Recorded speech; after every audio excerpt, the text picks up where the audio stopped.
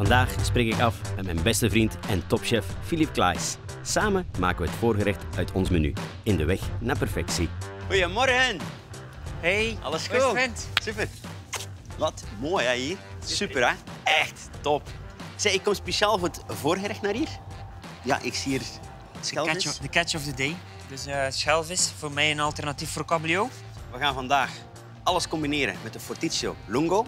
En je gaat zien, alle eigenschappen die daarin zitten, die eigenschappen die zitten ook in jouw concept. Dus dat gaat super zijn. De koffie die je meegebracht hebt, uit wat bestaat dat eigenlijk? Ehm, Malabar Arabica, West-Indië. Klein beetje moesson gehad. Colombiaanse koffie die eh, erbij zit, licht gebrand. De Malabar is ietsje intenser gebrand. En die combinatie van die twee krijg je eigenlijk een hele mooie koffie. Wat je hier wel proeft is zo intense smaak, maar toch schoon afgevlakt. Oké vriend, voorgerechtje. We gaan een lekker voorgerechtje maken. Eh, ik zie hier van alles. Ik zie aardappeltjes, zure room, sinaasappel, citroen, paksoi, augurkjes, krumbeltje, Ja.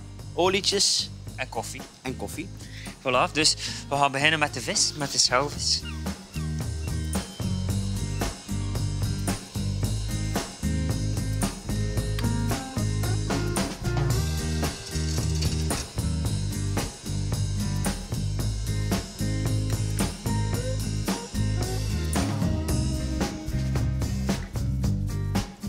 Lepeltje zure room. We hebben nog een half tasje koffie over van, eh, van de koffieolie.